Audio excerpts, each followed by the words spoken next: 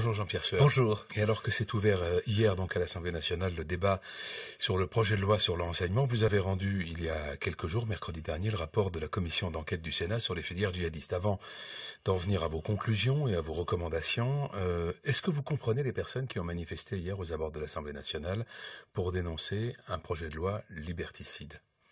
Je trouve que le mot liberticide ne convient pas. Parce que tout le monde aujourd'hui voit ce qui s'est passé à Paris, à Copenhague, à Tunis.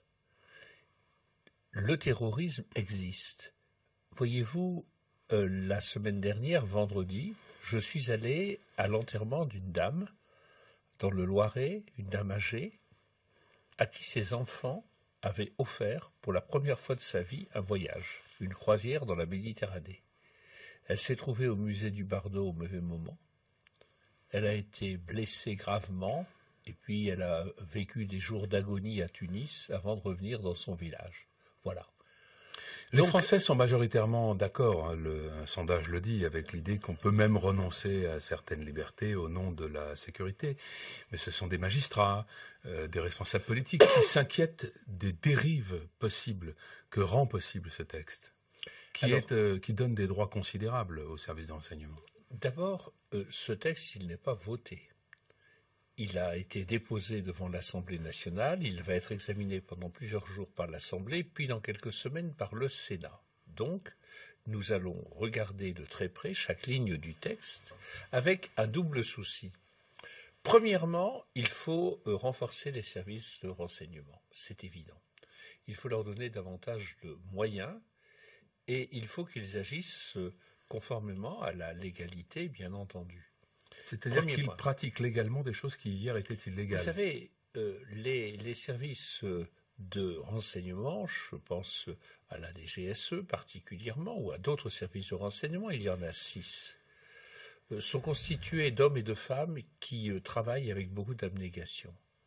Vous savez, c'est dur hein, d'être dans le service action de la DGSE. Bon, ils pratiquent un certain nombre de méthodes qui aujourd'hui ne sont pas couvertes par la loi. Que fait cette loi? Elle légalise. Elle fait entrer dans la loi, finalement, ce qui aujourd'hui n'y était pas. Donc je, je, prends ce premier aspect il faut des services de renseignement qui marchent bien, car on ne vit pas dans un monde angélique et dans un monde de bisounours, Frédéric Rivière. Deuxièmement, nous sommes attachés à nos libertés, au respect de la vie privée, au respect des données personnelles. Et la plus grande victoire des terroristes serait de nous conduire à abandonner cela. Alors dans ce texte, il y a une mesure très importante. Il y a la création d'un Conseil national, d'une instance, une haute mmh. autorité, qui aura tout pouvoir d'investigation sur les services de renseignement et qui sera constitué dans l'état actuel du texte de magistrats et de parlementaires. Donc vous voyez que c'est un pas en avant très important pour qu'il y ait du contrôle qui est tout à fait nécessaire. Alors, je voudrais qu'on ait le temps de parler un peu de votre rapport, mais un, dernier mot sur ce point. Euh, on imagine que vous faites toute confiance au gouvernement pour ne pas abuser de ce texte. Vous faites partie de la majorité. Oui, mais ça euh, entre les pas mains, vigilant. Entre les mains d'un autre gouvernement, euh, cet arsenal que représente ce projet de loi sur l'enseignement, est-ce qu'il ne permet pas des décisions qui pourraient être dangereuses pour la démocratie? Non. En aucun cas. Et écoutez, nous, nous y veillerons particulièrement. Je voulais juste ajouter une phrase. Voyez-vous, nous sommes allés aux États-Unis. Les services américains pratiquent ce qu'on appelle la pêche au chalut dans le langage. C'est-à-dire qu'ils euh, pompent des milliards de données, toutes les données des grands, des majors de l'Internet. Et puis ils croisent tout ça. Bon, nous, on interdit cela dans ce texte. Alors je ne dis pas qu'il n'y a pas de problème, il faut être vigilant, mais nous voulons tenir les deux bouts de la chaîne, des renseignements qui marchent, le respect des libertés. Alors le rapport que vous avez rendu mercredi dernier contient 110 propositions pour lutter contre la menace terroriste. Rappelons d'un mot que la France fournit à elle seule pratiquement la moitié des combattants européens engagés en Syrie et en Irak, soit 1500 personnes. Il s'agit donc d'abord d'essayer de prévenir la radicalisation. Et pour cela, vous préconisez notamment, je cite, hein, de mettre en place des actions obligatoires de formation à la détection de la radicalisation à destination de tous les acteurs de terrain. Concrètement, qui sont ces acteurs de terrain et comment s'y prendre? Ce sont les enseignants, les travailleurs sociaux, les magistrats, les policiers, etc., les gendarmes. Aujourd'hui, c'est un fléau. Et ce fléau, on en a pris la mesure en France avec retard. Voyez-vous, les premières mesures datent de 2014, alors que dans d'autres pays d'Europe, on s'y était mis dès 2012. Le, phénomène, vous le dites, est, montant. En un an, on a 84% de plus de personnes françaises qui sont parties en Syrie et en Irak. Donc c'est un problème redoutable et qui touche partout pas seulement dans les quartiers sensibles, mais aussi dans le monde rural. Euh, alors, quelles sont les causes? Essentiellement l'Internet. Hein, L'Internet euh, euh, radicalise des personnes qui, pourtant, mènent une vie tranquille, etc. Alors, par rapport à ça, notre rapport présente toute une série de mesures en complément de celles qui ont été prises par le gouvernement, tous azimuts.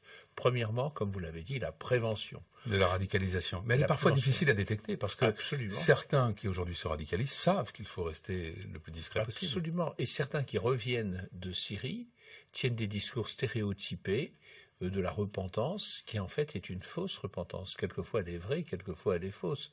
Donc vous voyez que c'est quelque chose qui demande là aussi beaucoup, beaucoup de vigilance. Il faut de la prévention, il faut que chaque personne détectée comme se radicalisant soit suivie par un référent, travailleur social, personnel de la justice, de l'éducation. Il faut que dans les préfectures, il y ait des cellules de veille, mais il faut aussi que chaque personne soit suivie. Deuxièmement, il faut de la répression. C'est-à-dire qu'il faut veiller, par exemple, au financement du terrorisme. Il faut d'autre part faire attention à ce qui se passe dans les prisons, parce que vous avez des prisons qui sont devenues des lieux de radicalisation, avec la question fameuse de savoir s'il faut regrouper les personnes radicalisées ou les disperser. Alors justement, le rapport préconise un système un peu intermédiaire. Intermédiaire, c'est-à-dire que si on, les, on fait un, un regroupement de 40 ou 50 personnes radicalisées, les surveillants de prison que nous avons rencontrés nous ont dit ça va être des cocottes minutes et on ne va pas pouvoir maîtriser. Si vous les dispersez, vous allez euh, engendrer une grande euh, diffusion de la radicalisation. Donc on propose l'encellulement individuel par groupe de 10 à 15, voyez-vous. On propose aussi l'augmentation des effectifs du renseignement pénitentiaire. Alors que la, prison est une des grandes sources de radicalisation, le renseignement pénitentiaire aujourd'hui, c'est 13 personnes pour toute la France. C'est vraiment totalement insuffisant. On proposait beaucoup d'augmentation de personnel. oui, euh, on propose. on propose, ça, coûte, vous avez estimé le, coût On propose aussi qu'il y ait davantage de personnel pour le renseignement territorial, bien connecté à la direction de la DGSI. On propose d'augmenter les, effectifs de TRACFIN qui, qui luttent contre la délinquance, contre le terrorisme financier. Et puis, euh, on propose aussi euh, des, moyens pour surveiller bien davantage l'Internet. Ça coûte, Monsieur Rivière, ça coûte. Mais je vais vous répondre en une phrase. De même que quelqu'un a dit euh, l'éducation coûte cher, ben, essayez l'ignorance. Si on ne fait pas cet effort, euh, quand on voit ce que coûte le plan Vichy Pirate, vous savez, la France peut faire cet effort financier. Ça coûtera plus cher et pas seulement en argent. Merci Jean-Pierre Sueur. Merci à vous Frédéric Rivière.